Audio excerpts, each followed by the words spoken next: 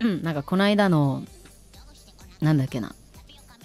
あこれこれ言ったら怒られるかな。お多分怒られないんだけどあの曲ツッキーが歌った曲あるじゃないですか。スミカさんのカバー。あれも投稿日の前々日ぐらいになんで俺には女の子の友達がいないんだって。嘆いて Discord が来たからあ？ Apex とかやってる子とかおらんのか？探せ探せおるやろうとか言って最初返したんよ。おったらなこんな何回もなクロちゃんに頼んでないんだよとか怒って怒らせてしまってな。あの人ね多分本当にいないんだと思うよね。あの男の子の友達はむっちゃいるんだけど女の子の友達で多分頼める人がいないんですよね。だからちょっとあのねリスナーさん助けてあげてほしい。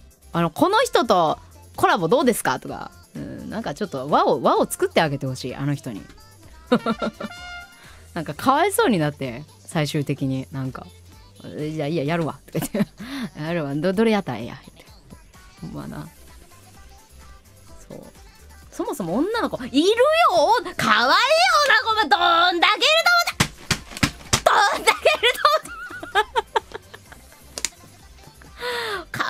かわいい女の。子山ほどおろうが。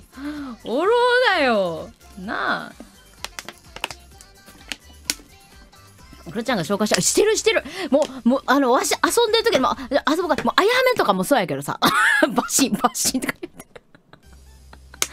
してるしてる。でもそっから先に踏み込まへんねん。踏みやっぱ動け。動け。言われたやろが占いでも。動け動く気がないって。それやそこ。もうちいちゃんとかもな。さなまあまあでも歌歌ってる人ってうん難しいな。うん確かに難しいかもしれない、うん、特にあの昨今ねやっぱコラボとかすると、えーあの無条件でねあの叩かれたりする時代にはなっていますから。いやそういう部分でも、えー確かに難しいことなのかもしれません。うん。そうは思います。